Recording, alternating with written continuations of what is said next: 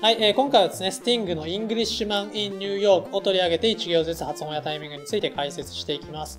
えーとですね、まあちょっとね、スティングって歌い方の癖があるんで、ちょっとね、難しいというか、解説しがいはあります。まあ発音的にすごく難しいっていうことはないんですけど、ちょっとね、癖のある、え、歌い方をします。えー、まあそんな感じで早速やっていきます。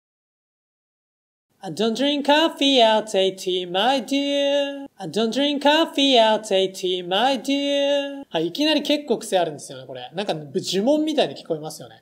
I don't drink coffee, I'll take tea, my dear. って感じですね。まあ、一つ一つの発音はそんなに難しくはないんですけど、あ、ちょっとでも drink がちょっと難しいですね。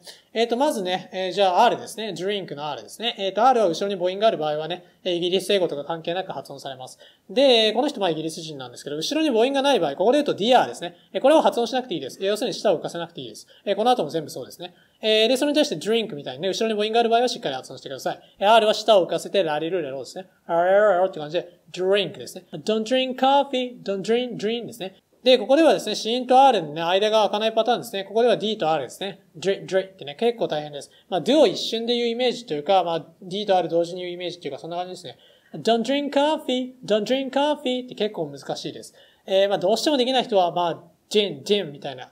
don't drink coffee, うん、ジン、ジンみたいな、なんか潰れた感じでごまかすやり方もあるんですけど、まあ、やっぱりあの、できた方がいいですね。don't drink coffee ですね。drink coffee, まあ、コーヒーはね、カフィーですね。coffee, I'll take あの、L ですね。L は後ろに母音がない場合は発音しなくていいです。会うでいいです。I'll take tea, my dear って感じで、dear って軽くあって最後に言う感じですかね。I don't drink coffee, I'll take tea, my dear. I like my toaster on one side. I like my toaster on one side. はい。えー、like ね。L は後ろに母音がある場合はしっかり発音されます。えっ、ー、と、前歯の裏に舌をつけてラレルレロですね。ラララララって感じで前歯の裏に舌を押し付けて I like my toaster no one side っていう感じですね。I like my toaster no one side You can hear it in my accent when I talk You can hear it in my accent when I talk はい。ちょっと最後のトークがなんか面白いというか、ちょっと癖ありますね。えー、受験って感じになってますね。受験 hear it in my, あ、これ繋がってます。hear it ってね、R 繋がってます。えー、hear だけだったら R の発音しません、イギリス人は。なんですけど、後ろにね、I っていうね、えっ、ー、と、母音を持つ単語がね、繋がってるんで、まあ、こういう場合一つに、えっ、ー、と、繋がってるっていう風に解釈して、発音されることもあります。hear it in my って感じですね。hear it in my accent when I talk って感じですね。You can hear it in my accent when I talk I'm an Englishman in New York. I'm an Englishman in New York. はい。まあ割とそのままですね。えー、まあイギリス英語なんで割とカタカナっぽいというかね。まあここで言うと L がね、グレッシュのリですね。えー、この L がある以外は割とそのままです。I'm an Englishman in New York. はい、これですね。まあさっきの行でね、えっ、ー、と、僕のアクセントを聞けばね、イギリス人であることがわかるだろうっていうことで、歌ってたんですけど、これがね、まあ、あの、タイトルでありサビなんですけど、まあ、サビっていうか、えー、これがフレーズが繰り返されるんですけど、ここのニューヨークのヨークは絶対に舌を浮かせちゃダメですよね。まあ、イングリッシュマンって言ってるんだから。えいつもはですね、自由に歌っていいって言ってるんですけど、この曲はダメですね、やっぱり。ここの曲で舌を浮かせたらちょっとニューヨーカーになっちゃうので、まあ、あの、ニューヨークかぶれのイギリス人っていう感じでもいいんですけど、まあ、アメリカ人だったら場合によってはこれ舌を浮かせて、ニューヨークっていう風に発音する人もいます。ただこれ人によってで、別にアメリカ人で発音しない人もいます。ニューヨークってね。で、この人はバリバリのイギリス人なので、えー、ニューヨークっていう風に発音します。I'm an Englishman in New York. See me walking down Fifth Avenue. See me walking down Fifth Avenue. はい、ちょっと Fifth Avenue 言いにくいですね。たっていうのはこれ th ですね。th は下を噛んで、たとかでとかだってね。まあ下を噛むだけです。Fifth Avenue っていう感じですね。See me walking down Fifth Avenue. Walking came here at my side. Walking came here at my side. はい、またね、here at ね、これ繋がって here at ってね、R 発音してます。Walking came here at my side. I take it everywhere I walk. I take it everywhere I walk. はい。まあ、これも割とそのままですね。everywhere ね、発音しないで everywhere って感じですね。あ、every はですね、よく出てくる単語ではちょっと難しいですね。これは V と R の間を開けないパターンです。every, every って感じでね、間に母音が入ってません。これちょっと紛らわしいですけど、これ母音じゃないんで、えー、V と R の間にね、母音を入れずに、vr, vr, vr って感じですね。I take it everywhere I walk. で、その次はさっきと同じ。I'm an Englishman in New York って言います。で、サビに入ります。I'm an alien. I'm a legal alien. I'm an alien. I'm a legal alien. はい。えまあ、割とそのままなんですけど、エイリアンのね、あをね、あって強く言わなくていいです。あとうの間みたいに、alien, alien って感じですね。あって強く言う必要はないです。I'm an alien. I'm a legal alien. で、その後ね、I'm an Englishman in New York って言います。で、今の2行ね、もう一回繰り返します。I'm an alien. I'm a legal alien. I'm an Englishman in New York っていうふうに言います。If manners maketh manners, someone said. If manners maketh manners, someone said. えちょっとね、これパッと見ね、見慣れないね、make っていうね、まあ、古語ですよね。え死語とも言いますけど、昔の言い方ですね。これはですね、なんか発音はどうなんですかね maketh だと思うんですけど、ここでは maketh に近く言ってるように聞こえます。If manners maketh man, maketh manners, someone say っていう感じですね。If manners maketh manners, someone say He's a hero of the day. He's a hero of the day.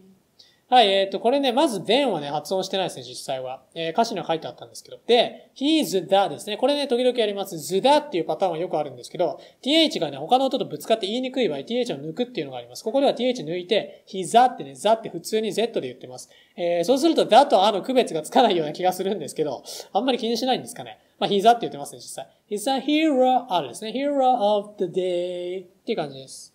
he's a hero of the day. It takes a man to suffer ignorance and smile. It takes a man to suffer ignorance and smile. はい、ちょっと言いにくいですね。で、さらにちょっと癖があるんですよ。まずね、ignorance って、これが言いにくいですね、単純に。takes a man to suffer ignorance and smile. ignorance and smile. ちょっと言いにくいですね。 で、ちょっと癖があるのは、この後も軽くそれが出てくるんですけど、take the man って ignorance them っぽく言ってるんですね。え、これはですね、何度か解説してるんですけど、英語っていうのはちょっとね、まあ、だらしないっていう言い方がいいのかわかんないんですけど、まあ、要するになんか東北弁みたいな感じで、あんまり口をね、開けないような歌い方っていうんですかね。そういう喋り方にすると、音を濁らせるというか、音が濁ります。えー、で、例えば can はね、ギャンっぽく発音したりします。あーギャンギャンギャンギャンみたいな感じで、ちょっとあの、下町っぽい歌い方なんだと思うんですけど、えー、そんな感じでここではですね、takes とか ignorance をね、あえてちょっとずっぽく言ってるんですね。takes a man to suffer ignorance smile って言えば、えー、かなりね、誇張して言うとそんな感じで、えー、ちょっとね、渋い歌い方になるんで、まあ、そこまで真似した人はぜひやってみてください。takes a man to suffer ignorance smile Be yourself no matter what they say. Be yourself no matter what they say. はい、ここでね、t が変化するパターンがやっと出てきて、まあ、ここではね、t が変化して d っぽいかなと思います。日本語のラレレロっぽくなるパターンもあるんで、まあ、実際どっちも聞こえることあります。なんでこれ別にまあ、ラって言ってもいいんですけど、まあ、個人的にはここはだっぽいかなと思います。Be yourself no matter what they say って感じですね。え、これね、メッセージ性があるというか、かっこいい歌詞ですね。え、何を言われても気にすんなって感じですね。Be yourself no matter what they say. で、サビはさっきと同じです。I'm an alien, I'm a legal alien, I'm an Englishman in New York. っていう感じですね。Modesty, propriety can lead to notoriety. Modesty, propriety can lead to notoriety. はい、これちょっとね、謝罪しなきゃいけないというか、まずそもそもこの曲簡単じゃなかったなっていうのはちょっと訂正なのと、もう一つはこれカタカナで書く方がむしろ分かりづらくなるっていうパターンですね。えー、結構大変です。えー、ちょっといろいろ気をつけないといけないんですけど、まずね、これモレスティっていうのはですね、これ珍しいんですけど、D が日本語のラレレロっぽく聞こえるパターンもあります。ただこれ別にデでもいいです。あの、モデスティでも全然問題ないです。ただ実際の発音はちょっとモレスティっぽいですね。Modesty っていうふうに、えー、日本語のレっぽく言ってます。propriety。はい、これですね。pro、まず p と r の間開けません。pro, pro, pro って感じですね。propriety, propriety, propriety。こっちもね、p と r 同時ですね。propriety, propriety って感じで、とにかく p と r をね、あの、一瞬で言うのが大変です。で、ライアティっていうのも早く言います。ラーティ、ラーティって感じで、ライアティってちゃんと言わなくていいです。えー、ちょっと流す感じで大丈夫です。で、can lead to not, ここでね、lead ってね、L が入ってくるのでさ、さらに紛らわしいんですね。lead to notoriety, notoriety, notoriety っていう感じですね。ここちょっと大変です。次の行もちょっと大変です。Modesty propriety can lead to notoriety. You could end up as the only one. You could end up as the only one. はい。まあ、ここはそのままですね。ここでね、as the っていうのちょっと言いにくいですけど、ちゃんと言ってるっぽいですね。You could end up as the only one っていう感じですね。You could end up as the only one. Gentleness, sobriety, a r e l in this society. Gentleness, sobriety, a r e l in this society.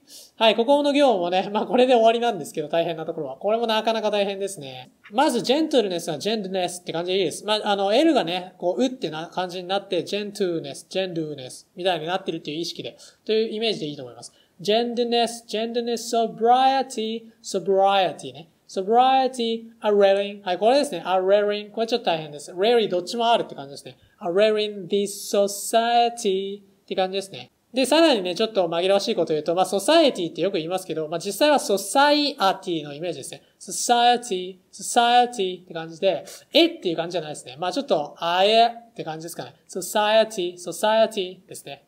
ジェルネス・ソブライティ、アレルン・ディ・ソサエティ。Another candle's brighter than the sun. Another candle's brighter than the sun. はい、これね、t がね、d っぽくなるパターンが2つ出てきますね。Another candle's brighter って感じですね。than the sun って感じです。Another candle's brighter than the sun. Takes more than combat gear to make a man. takes more than combat gear to make a man. はい、またね、takes をちょっと濁らせてますね。takes って感じですね。takes more than combat gear to make a man. あとはそのままですね。takes more than combat gear to make a man. takes more than a license for a gun. takes more than a license for a gun. はい。えー、まあ割とそのままですね。また takes って言ってますね。takes more than a license for a gun. ちょっとだけこれ gun をね、ガと5の間っぽく gun って言っているように聞こえます。takes more than a license for a gun. Confront your enemies, avoid them when you can. Confront your enemies, avoid them when you can. はい、えー、confront your, ちょっと言いにくいですね。confront, for, r ですね。confront your enemy. これ enemy と enemy の間みたいな感じです。enemy で繋がって avoid them when you can ですね。で最後の can ですね。これ絶妙ですね。えー、can をね、can っぽく発音するのは多分イギリス英語の特徴なんですけど、ここでは can と can の絶妙な間ですね。can, can じゃなくて can, can ってね、can と can の間っぽく言ってます。これなかなか大変です。Confront your enemies, avoid them when you can. And gentlemen will walk but never run. And gentlemen will walk but never run. はい、ここ多分あえて口をあんまり開けない歌い方にここでは特にしてますね。A gentlemen will walk but never run. って感じですね。ちょっと大げさに言うとそんな感じです。えー、そのせいでね、最後の never がね、never っぽいですね。never run っぽいですね。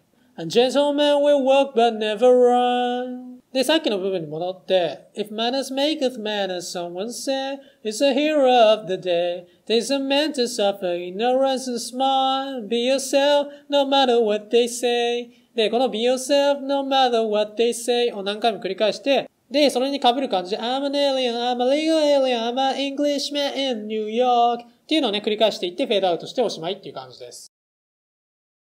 えー、というわけでこの曲はですね、あの、最初で最後だと思うんですけど、超特殊な曲でですね、えー、イギリスアクセントで歌わないと意味が全然通らないというか、主人公イギリス人って言ってるので、ちょっとこれアメリカアクセントで歌ったら変ですよね、やっぱ。まあちょっとそういう特殊な曲でしたね。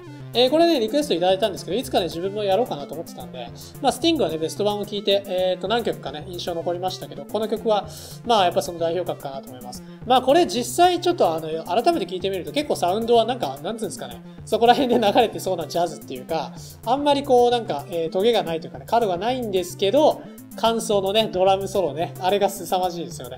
あのアイディアは本当にうまくいってるなと思って、ちょっと完璧ですね、やっぱり。ああいうのもっと他のね、なんかいろんなロックとかポップスやればいいのになって思うぐらい、すごい強烈ですよね。あんないきなりドラムがでかい音で入ってくるっていうのは、あの、面白いなと思います。で、やっぱりね、歌い方の話をすると、やっぱちょっと癖ある気がしますね。まあそもそもね、スティングはね、ポリスで、まあやっぱりレゲエの歌い方、ジャマイカンアクセント取り入れた歌い方を多分してたんだと思うんですけど、この曲でもなんかやっぱりそれあるのかなっていう、なんかちょっと面白い節回しっていうか、なんか、なんか切り方とか繋げ方が面白いような気がします。まあちょっとなんか気のせいかもしれないんですけど。で、これ面白いのが、この曲の動画をですね、YouTube で見てもらえればわかるんですけど、コメント欄がですね、あの、大喜利みたいになってて、まあ、簡単に言うと最初にですね、最初の歌詞でコーヒーは飲まない、えー、紅茶しか飲まないと、まあ、イギリス人だからっていうのを言ってるんですけど、それに対していろんな人種の人がですね、コーヒーは飲まない、代わりに何かを飲むっていう。なぜならイタリア人だからとか、なぜなら韓国人だからっていう、なんか大喜利がどんどんあるんですけど、ちょっとなんか日本人はまだ書き込んでなかったっぽいんで、あの、誰か英語できる人はちょっと書き込んでみてはいいんじゃないでしょうか。で、まあそんな感じでね、なかなかね、興味深いとかね、ちょっとね、面白い曲でした。えー、そんなわけで今回はスティングの Englishman in New York を取り上げました。えどうもありがとうございました。